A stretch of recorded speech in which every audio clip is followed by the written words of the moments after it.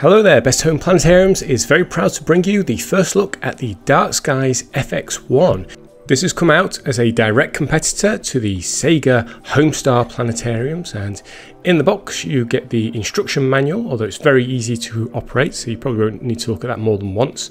There's a wall plug but if you're outside the US, don't worry because this is actually charged via a USB Type C cable. So you can pretty much charge this anywhere. And I say charge because this includes a battery. You don't have to leave it plugged in to a power outlet. Then the main event itself, the FX, it's a nice looking bit of kit. Very reminiscent of maybe a droid out of Star Wars when I take a look at this with its funky little feet. Nice crisp, clean, black white colour scheme with a burst of orange colour on the bottom on the little feet.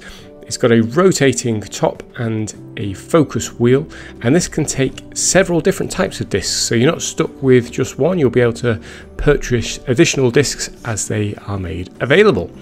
There's some controls down the bottom for power, rotation, timer, and that's where you can also charge it up. In the Dark Skys family, you've got the DS1 at the very expensive end, the Skyview at the stocking filler end, and the FX sits very close to the Skyview. It's a lot more affordable than the Dark Skys 1, so I can see this appealing to a lot of people who want some of that Miller Engineering magic without the high price tag.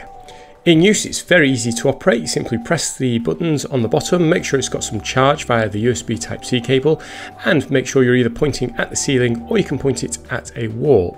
Once you power it on and you've got a disc in, you'll need to check the focus is correct using that top focus ring.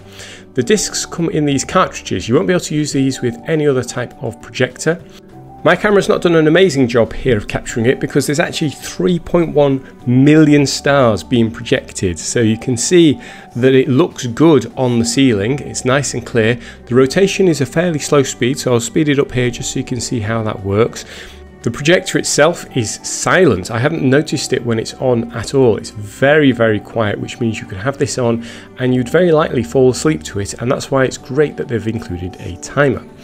This 3.1 million star disk doesn't let off a huge amount of light leak, so you can see the room's still pretty dark, even though I've got it projecting all these stars onto my ceiling.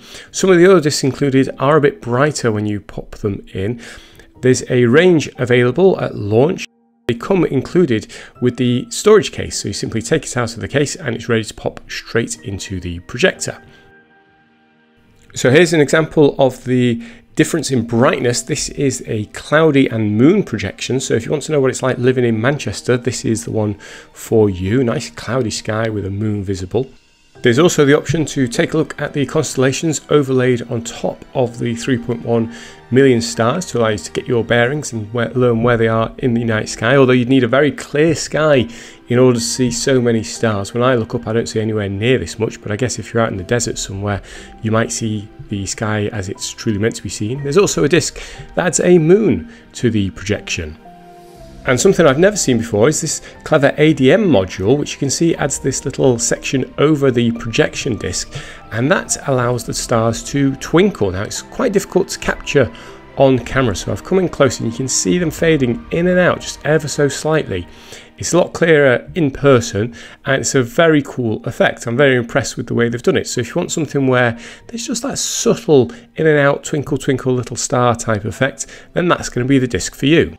I checked in with the team to find out what their plans were for coloured discs and what they thought of other manufacturers' versions.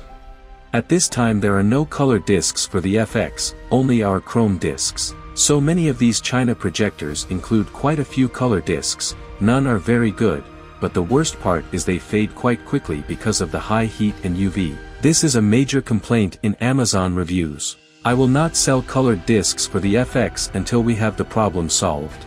Our chrome discs will never fade. The other thing worth noting for the FX is the projected image of the night sky is a real image. I have bought all the major star projectors and Sega is the only other one that shows a real image of the night sky. I have not been able to recognize a single star or constellation in any of the other star projectors. At first glance they appear to be correct until you take a closer look.